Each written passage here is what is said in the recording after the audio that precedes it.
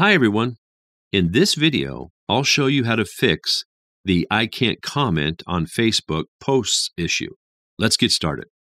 First, check you're using the latest version of the Facebook app. To do that, go to the App Store or Google Play Store, then search Facebook. Now select the Facebook app and update it if available. Second, you can also try clearing the cache of the Facebook app by going to Settings,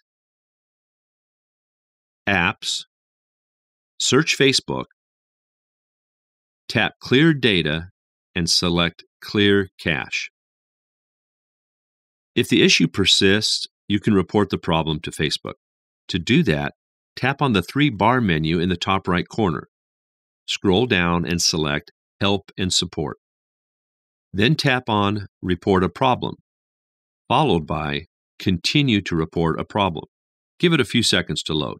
When prompted, choose whether to include logs or not, whatever you're comfortable with. Then choose a product where you're experiencing the issue.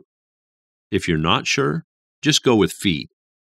Now you'll see a box where you can type your issue. Write something like, Hello, Facebook team. I'm unable to comment on Facebook posts. Please help me fix this issue. Once you've done that, tap Send. And that's it. You've successfully fixed the issue of not being able to comment on Facebook posts. If you found this video helpful, don't forget to like and subscribe.